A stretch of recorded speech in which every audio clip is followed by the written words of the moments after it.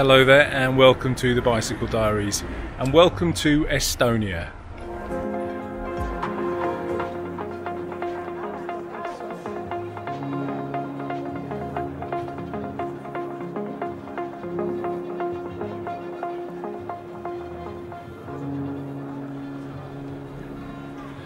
To give you some idea of where I am, I'm in the capital of Estonia, a city called Tallinn.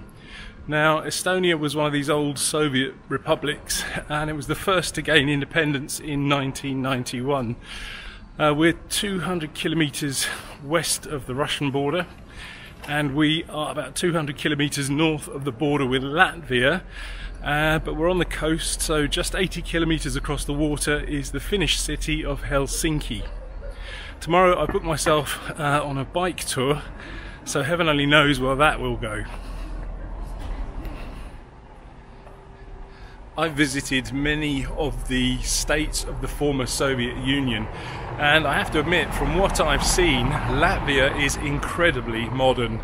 Um, okay, yes, there are some sort of remnants of the old Soviet buildings still around, as you would expect, um, and yes, the old town is very medieval, very beautiful but the new town is very, very modern indeed. In fact, I think it was only built in the last 20 years or so, and as such, it would put places like London and New York to shame.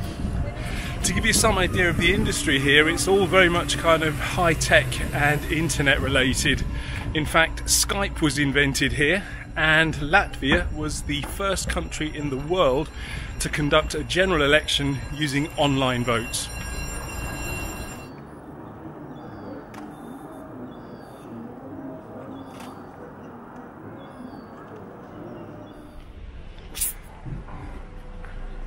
So here I am, heading for the bike shop. Let's see where this ride takes us. Although I knew I was coming to Tallinn a few weeks ago, I only booked up my ride yesterday with a company called City Bike, as I thought I wasn't going to have enough time to fit one in. Luckily for me, they're also located in the Old Town, not too far from my hotel. As well as the international language of bike, Everyone speaks pretty good English, so it's not long before I have my bike for the morning.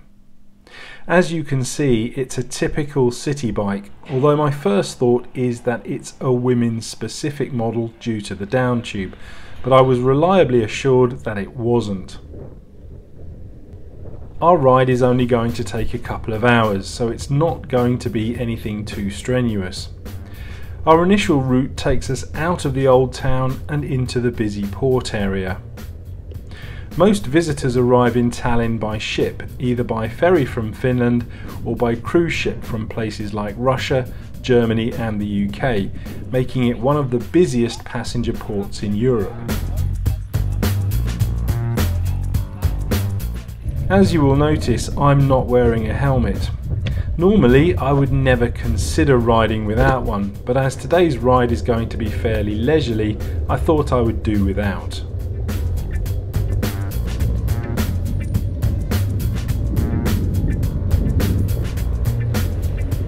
So having just ridden through the city, we're now in the more leafy suburbs. One of the curious things about riding here is that um, we are allowed to ride on the pavement. Um, which is a bit disconcerting, but maybe it's a Baltic thing. Uh, it was the same thing last year in Latvia. But now we're in the suburbs, hopefully we can stick to the roads a bit more, feel a lot more comfortable on those.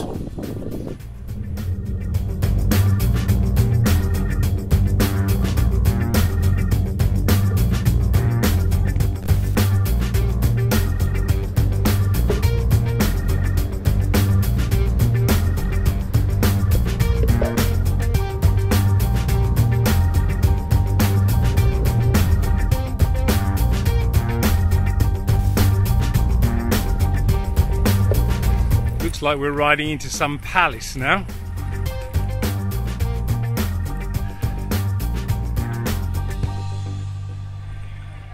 Turns out that this is actually the summer palace of the Russian Emperor Peter the Great. Um, but he never actually slept in this building. He had a separate, smaller one out the back, so he didn't raise too much attention to himself. I'm now climbing the second of Tallinn's two hills. As you can see, it's only a small rise in the road and nothing to get too excited about. At the top of the climb is the President's Palace. Estonia feels like a pretty laid back place. Here we are right outside the palace itself, just a few metres from the front door. This would be like riding completely uninvited into Downing Street in London or onto the lawn of the White House. Here in Tallinn, the two guards on the door seem completely unfazed. Could you imagine that happening in London or Washington? We leave the President to her duties and ride through the ornamental gardens of Kadriorg Park on the edge of the city and head out through some residential streets towards the Tallinn Song Festival ground. Singing plays a very big role in Estonian culture. Not only do they enjoy it, it also played a major part in the country gaining independence from the Soviet Union in 1991 through the non-violent uprising known as the Singing Revolution. Incidentally, the festival ground also has Estonia's highest point, which is only about 30 metres above sea level. I'm now heading out to the coast. This area is currently being developed and is due to be completed in the next few years. 80 kilometres or 50 miles across the water is Finland and during the Soviet occupation of Estonia many people attempted the three-day walk across the frozen sea to freedom. Sadly the majority didn't make it due to the extreme cold.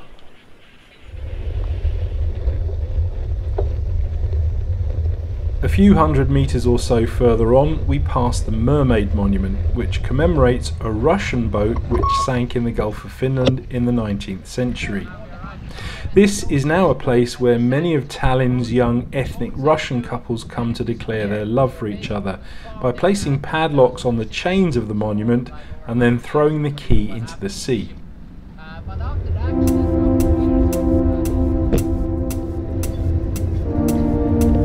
Heading back towards the city, we reach the Rotermann Quarter, an old industrial area which has recently been converted into trendy shopping and dining areas.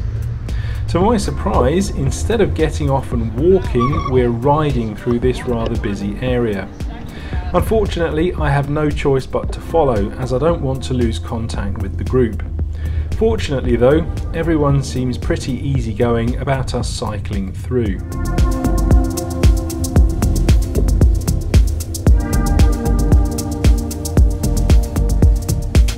After a somewhat stressful ride through the shopping centre, we're back onto the cobbled streets of the old town.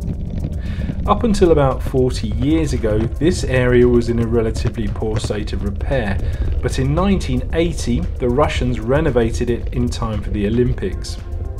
Even though the main games were taking place in Moscow, some 900 kilometres or 540 miles away, all of the sailing events were taking place here, and they wanted to present a positive, if perhaps not entirely accurate image of what life was like in the Soviet Union.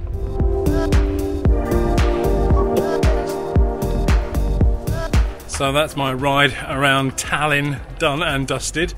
It was only uh, about 12 kilometres, but it took us about two and a half hours to complete, but that was mainly because we were stopping quite a lot and looking at stuff all in all, very enjoyable ride. Um, not strenuous at all. There was one hill that was probably only about um, 100 metres long with a gradient of about 2%, and I think that's about as bad as it gets here in uh, Estonia. It's quite a flat country. Um, yeah, quite an enjoyable ride. A little um, uh, intimidating riding through the shopping centre like that, uh, and then not knowing the roads, but uh, all in all, yes, uh, I'm glad I did it. Although a fun, interesting ride, I would say that it wasn't a particularly strenuous workout.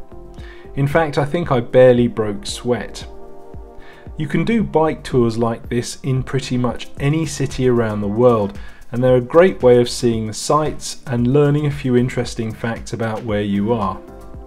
I think next time I would like to be able to go out and do a proper ride, but that is going to take a bit more planning. Thanks for watching.